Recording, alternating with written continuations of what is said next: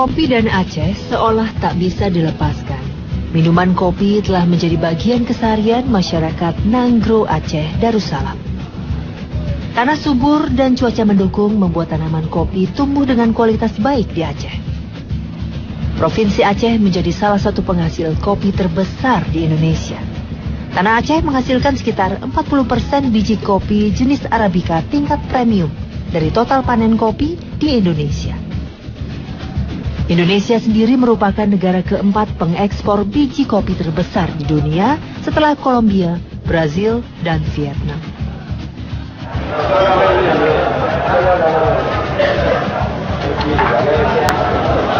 Pemirsa Provinsi Aceh terkenal dengan komoditas kopinya. Bahkan di Banda Aceh ini mendapat julukan sebagai kota seribu warung kopi. Dan Indonesia kali ini akan mengajak Anda ke sebuah desa di Kabupaten Aceh Jaya untuk melihat potensi kopi terbesar di Aceh. Ikuti perjalanan Indonesia kali.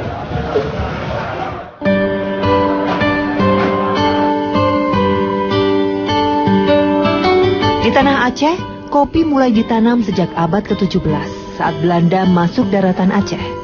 Kopi akhirnya menjadi bagian yang tidak terpisahkan bagi warga Aceh. Zaman terus berkembang. Kedai kopi bertebaran di hampir seluruh penjuru Aceh. Mereka pun memiliki cara unik dalam menyajikan kopi kepada para pelanggan. Ini memang bikinnya harus disaring, taruh saring taruh gitu.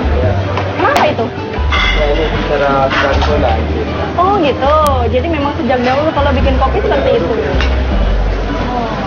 Pernah satu hari mungkin kepleset gitu tangannya sampai kopinya tumpah semua gitu? Hah? Sampai tumpah ke bawah. Oh, gitu. Tapi nggak apa-apa itu kayak gitu.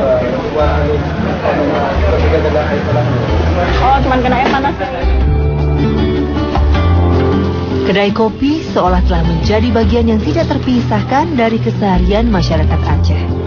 Tua, muda, kaya miskin, semua bisa bersilaturahmi di kedai kopi. Saya pun penasaran ingin melihat proses pembuatan bubuk kopi. Inilah pabrik kopi Solong di Ule Kareng, Banda Aceh. Pabrik ini berdiri sejak tahun 1948. Hasbalah, sang pemilik pabrik merupakan generasi kedua yang mengelola pabrik kopi Solong ini. Dua jenis proses di Ya, itu kasar, kasar dan sama halus. halus. Kalau kasar biasanya siapa yang menggunakan? Itu atau yang kasar? untuk untuk kopi saring. di warung-warung kopi Ya, gitu ya. ya kalau yang bubuk halus, ya untuk bubuk rumah tangga. Di Aceh, komoditas kopi sempat berulang kali terpuruk, terutama saat terjadi konflik antara pemerintah Republik Indonesia dengan gerakan Aceh Merdeka. Selama konflik dan gencatan senjata, wilayah Aceh merupakan wilayah tertutup bagi pendatang. Kondisi ini berimbas pada penghasilan pengusaha dan petani kopi di bumi Nanggro Aceh Darussalam. Itu tahun berapa itu Pak omset mulai menurun? Kita tahun 2001 lah.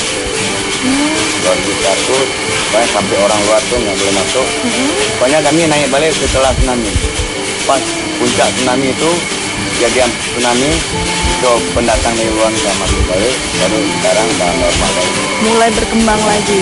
Ah, penurunannya sampai berapa persen mungkin Pak itu pada saat konflik itu? Itu lebih kurang kita 50 persen lah. 50 persen. Kan kami bisa untuk cukup hidup makan aja gitu. Pas-pasan. Pas-pasan. Selain pabrik kopi Solong, pabrik-pabrik kopi lain juga bertebaran di sekitar kota Banda Aceh. Salah satunya pabrik kopi di kawasan Ketapang. Pabrik ini berdiri sejak tahun 1961 dan dikelola secara turun-temurun. Proses pengelolaan kopi masih tradisional, tanpa sentuhan alat-alat modern. Proses pemasakan biji kopi rupanya tidak sesederhana yang dibayangkan. Pemasakan biji kopi merupakan proses utama yang memakan waktu cukup lama. Selama kurang lebih dua jam, kopi dimasak tanpa minyak menggunakan bara api. Biji kopi juga harus selalu diputar agar matang secara merata dan tidak hangus di satu sisi bagian saja. Aroma kopinya benar-benar kerasa banget. Jadi kurang lebih tadi hampir dua jam ya kita memasak kopinya di dalam tungku besar itu dan di sinilah tempat pendinginan kopi-kopi yang telah dimasak. Kurang lebih satu jam kita dinginkan, setelah itu baru bisa untuk digiling.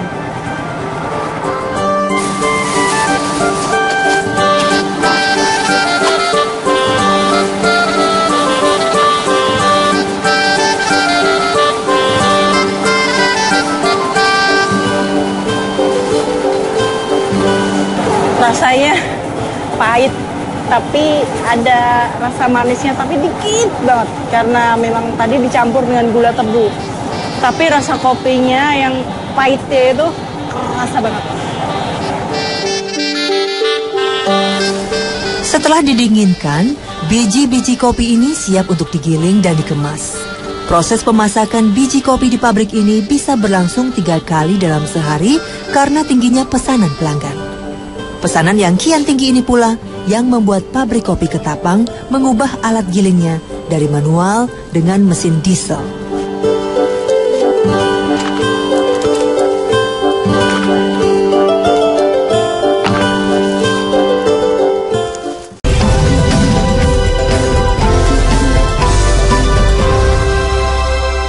persen pasar dikuasai kopi jenis Arabica. Sisanya 20% kopi jenis Robusta dan 5% lainnya kopi jenis Liberica dan Excelsa.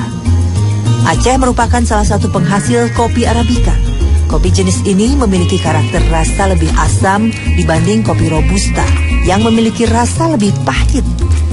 Sejak tahun 2011, harga kopi Robusta di pasar Indonesia melonjak tajam menjadi 259 dolar Amerika per tonnya.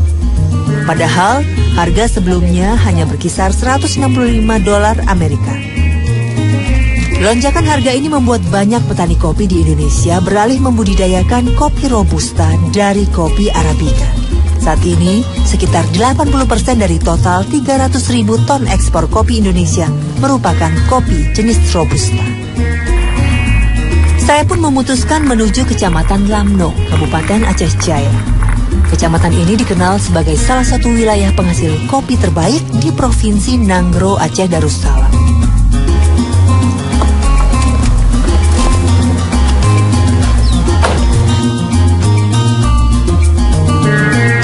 Katanya nih Pak, kopi di sini itu yang terbaik ya Pak ya? Betul nggak tuh Pak? Benar-benar.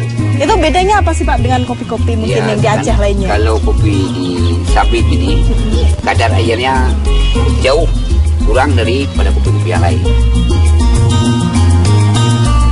80% dari 150 kepala keluarga di desa Sabet menggantungkan hidup dari tanaman kopi. Sebagian besar di antara mereka mengelola kebun kopi hasil warisan nenek moyang. Tapi dulu pada zaman dahulu mungkin eh, masyarakat di sini sendiri bisa menjual sampai berapa banyak kopi Pak itu? Dalam setahunnya mungkin Ya kira-kira. begini, kalau yang orang tua saya sendiri sampai satu tahun setengah ke setahun. Satu tahun. Ya, Itu hanya satu orang. satu orang. Wow, belum satu Belum satu kampung. satu kampung ya Pak ya. Tapi kalau sekarang Pak mengalami penurunan atau justru tambah naik? Ya, pasti jauh lah menurunnya. Karena kalau- apa itu? Itulah karena faktor Karena hama tadi ya. hama tadi. Oh gitu. Faktor lain nggak ada tuh Pak? nggak ada cuma saya sudah memohon kepada pemerintah semenjak saya menjadi kepala desa sampai sekarang tapi nggak ada disikapi Warga desa Sabet kini hanya bisa pasrah dengan hasil panen kopi yang terus menurun. Tanaman kopi robusta memang rentan terhadap hama. Aksi gajah liar yang merusak tanaman kopi juga menjadi musuh para petani kopi di desa Sabet. Kurang tanggapnya pemerintah setempat tentu saja berpengaruh terhadap kesejahteraan para petani rakyat. Penghasilan kopi kecamatan Lamno semakin menurun. Ini harus yang sudah warnanya seperti apa Bu yang dipetik? Hijau gini? Ini, ini bisa ini udah dua yang kuning ini udah dua. Ah, Kalau yang hijau ini nggak bisa masih muda. masih muda. Oh berarti yang hijaunya seperti ini sudah bisa. Kalau yang sudah coklat, ah jatuh Bu. Coklat gitu? Itu sudah busuk, Bukan besok ini hitam. sudah hitam. Itu nggak apa-apa tapi dipetik. Nggak apa-apa. Kalau yang merah gini? bisa juga. Aisyah dan kawan-kawannya merupakan buruh lepas pemetik kopi. Mereka bisa menghabiskan waktu dari pagi hingga sore di kebun kopi milik majikannya. Selain cari yang ada di pohon, tinggal petik. Ini yang jatuh-jatuh, yang kita nggak sempet panen itu, yang dia jatuh sendiri, diambilin karena memang masih bagus ya buahnya, belum busuk. Ya, Al.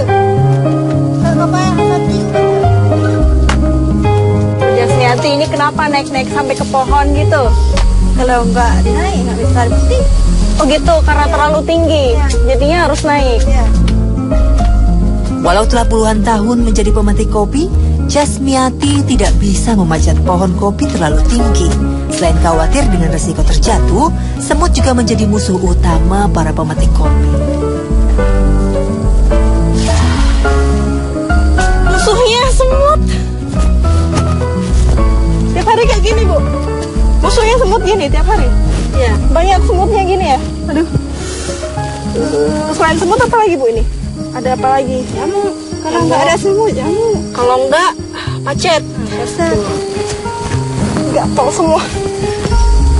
Ada, Bu. Ada, Bu. Eh, Empat. Ah.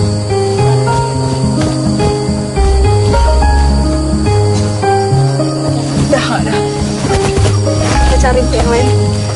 Ada. Hari berangsur siang. Tepat pukul 12, para pemetik kopi menuju sungai untuk beristirahat makan siang.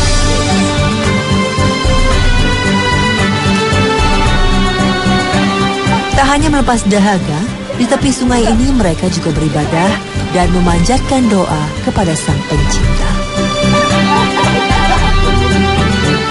Usai beribadah dan membersihkan badan, mereka langsung mengeluarkan bekal makan siang yang sengaja dibawa dari rumah. Makan siang seadanya dan minum air sungai sudah menjadi keseharian saat berada di kebun kopi. Ibu kerja setiap hari berarti ke kebun. Ada orang yang suruh setiap hari. Oh, berarti ibu nggak nggak pasti di kebun tadi. Oh, tergantung tergantung yang punya kebun. Oh, kalau dia membutuhkan uh, ini buat petik, ibu datang bayar 35 per harinya. Itu cukup bu buat sehari-hari gitu? Anaknya udah lima. Anak ibu lima.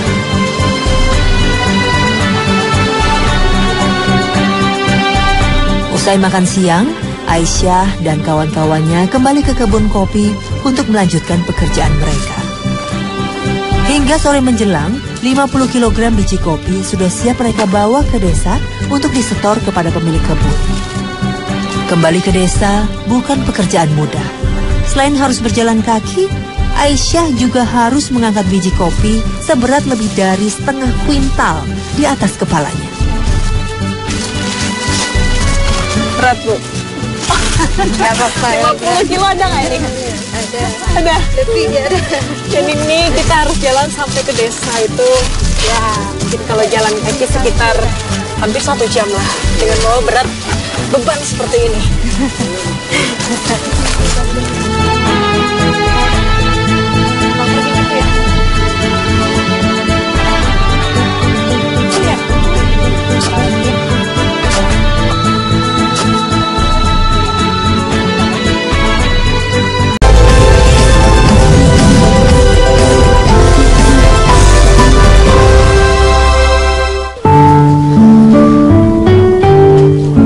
Kopi menjadi komoditas unggulan di Provinsi Aceh. Dari desa Sabet saja, 15 ton biji kopi dihasilkan per tahunnya. Walau menurun drastis, masyarakat desa Sabet tetap menggantungkan hidup dari biji-biji kopi ini.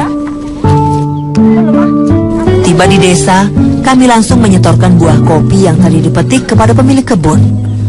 Buah kopi yang telah dipetik tak bisa menunggu lama untuk dijemur. Jika terlalu lama di dalam karung, bukan tidak mungkin buah kopi ini akan busuk. Setelah menjemur kopi di bawah terik matahari, inilah saat yang dinanti oleh wanita-wanita pemetik kopi. Pembagian upah setelah seharian bekerja.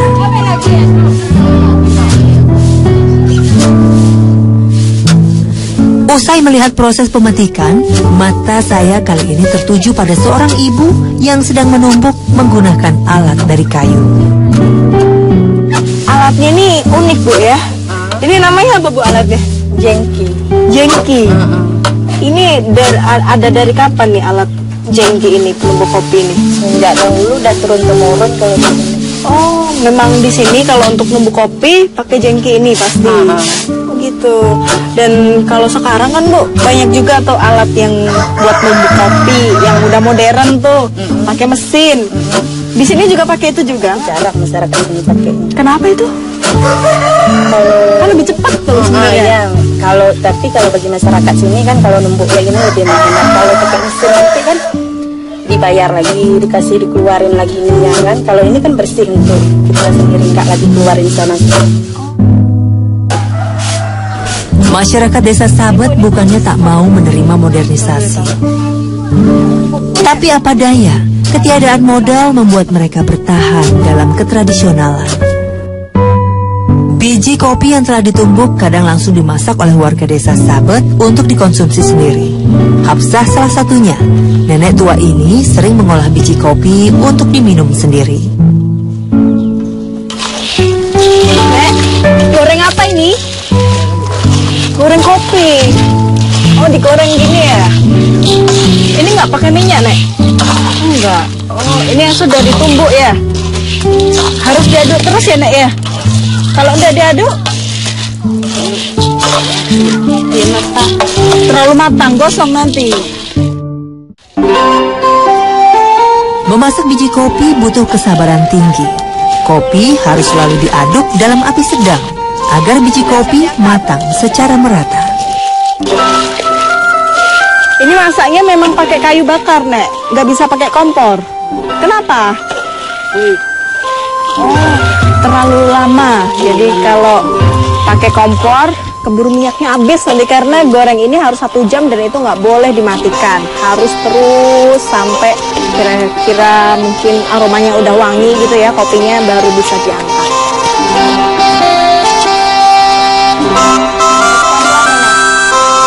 Setelah kopi matang, kami bergegas menuju ke jengki untuk menumbuk biji kopi. Walau terlihat rentah, Hapsah masih memiliki tenaga untuk mengoperasikan jengki. Nah, jadi setelah ditumbuk itu kita ayak dulu dan proses pengayakannya pun nggak hanya satu kali, jadi ada beberapa kali dan yang diambil nanti yang kita minum itu bubuk yang paling halus. Nah, bubuk yang seperti ini yang masih masih kasar ya, masih ada kopi-kopi yang masih besar, itu nanti kita tumbuk kembali, nanti diayak lagi sampai kita dapatkan yang paling halus.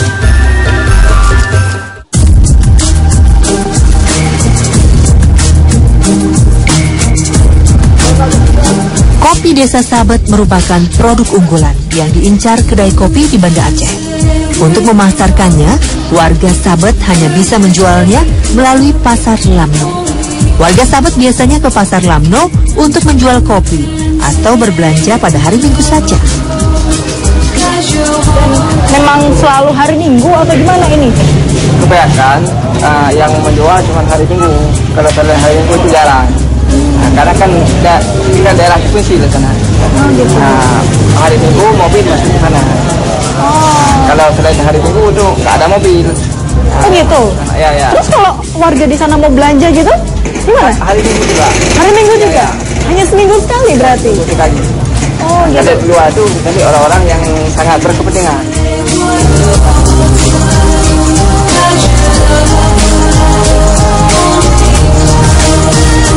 Jadi kalau penjualan atau pengiriman ke Banda Aceh itu berapa bulan sekali atau mungkin berapa minggu sekali? Eh, kita pada umumnya setiap per minggu kan. Terkadang mungkin per minggu ada pernah nyampe 500 kilo. Kalau lagi panen raya nih, Panen raya. biasanya sampai berapa ton gitu? Mungkin sampai barang dua ataupun tiga ton. Harga jual kopi Lamno ke Banda Aceh bisa mencapai Rp35.000 per kilonya. Harga ini sudah termasuk ongkos perjalanan ke Banda Aceh. Pemirsa meredupnya nama kopi di Aceh selain dikarenakan hama tanaman yang menyerang kopi, juga adanya konflik antara pemerintah RI dengan GAM yang terjadi beberapa tahun silam. Hal ini menyebabkan banyak warga dari luar Aceh enggan untuk masuk ke Aceh. Namun pasca tragedi tsunami justru nama kopi Aceh mulai bersinar kembali dikarenakan banyaknya relawan yang masuk ke kawasan Aceh. Namun sayangnya bantuan dan juga uluran tangan dari pemerintah Aceh seakan belum pernah dirasakan oleh para petani kopi. Hal inilah yang masih diharapkan oleh para petani kopi yang ada di desa-desa. Pemirsa, demikian Indonesiaku kali ini. Sampai jumpa.